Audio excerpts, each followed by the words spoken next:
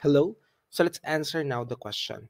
So here we are given a uh, parental strand of a DNA. We have A, T,